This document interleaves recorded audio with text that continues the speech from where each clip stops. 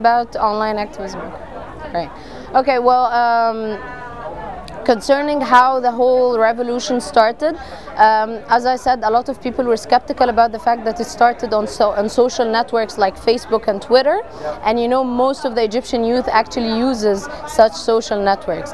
Uh, how it actually came to happen in the streets is that you know some of us decided to go to the street and just pretend like we're not uh, participating in the protests, and then we saw massive groups on the street and we started calling everyone. Plus, uh, a lot of human rights organizations, I have to say that, a lot of human rights organizations, especially in Cairo, decided to support uh, to support um, the invitation to participate in the protest, and they have a lot of um, they they have a lot of. Um, you know, social credibility and a lot of popular credibility among the people, and they adopted the event. They decided to support it by all means. Some of them were lawyers actually, and they told us, they gave us specific instructions on how to deal with riot police and what to do if we were actually politically detained and who to call and uh, who do we need to go to if we need to ask for help or for advice for whatever reason. And some of these organizations were actually supporting the protesters on Liberation Square by uh, um, providing them with food, with uh, blankets, with water, with so many things, with so many things, whatever we needed. We actually managed to create a hospital on the field inside one of the mosques near to the Liberation Square. Uh, where we just did the first aid uh, for all the injured people or for all the injured protesters. So that's one thing.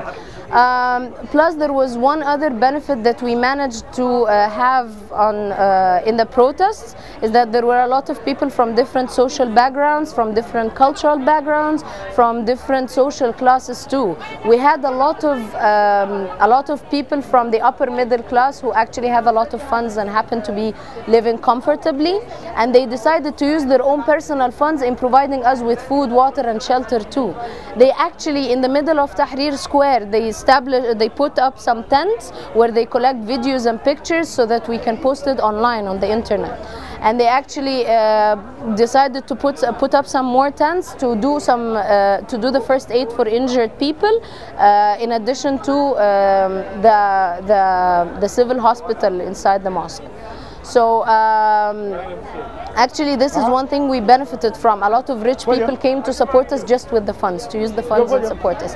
And this actually proves one point. This was not only about unemployment and poverty. This was one main cause. But also a lot of people who lived comfortably and who were not exactly miserable under Mubarak's regime decided to support the protest. Because because it's a demand for democracy. That's just one more reason that's one more reason to prove that this is a demand for democracy and that we are not going to stop uh, for whatever reason. And you know the presence of some rich people who live comfortably just supported this cause.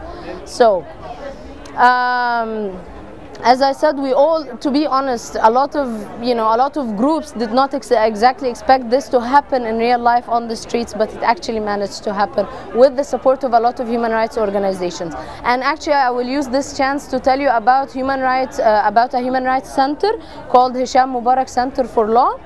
It's uh, based in Cairo and it has something called the Egyptian Front to Defend Egyptian Protesters and you will actually find their website online. They have a blog and they have like a hotline with various numbers to uh, to call them whenever you need uh, support for the protesters if they need legal aid and they also post lists of uh, people in detention and they also post lists of the martyrs and they also post lists of injured people so that their families know about them.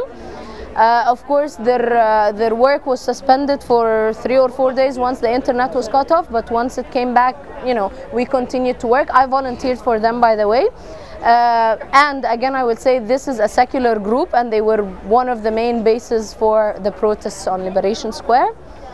Um, and one more thing I would like to mention is that some opposition groups, or I would actually say some of the, a, lot of the opposition groups, were trying to take over the protests and to pretend like, you know, they sort of, they can uh, speak for the people on Liberation Square or Tahrir Square and all the people on the streets. This is not true. They tried to do that and we always ask them to step down and not to deliver speeches because we do not want any political party to represent us. We do not stand behind political, political ideologies. So, all right.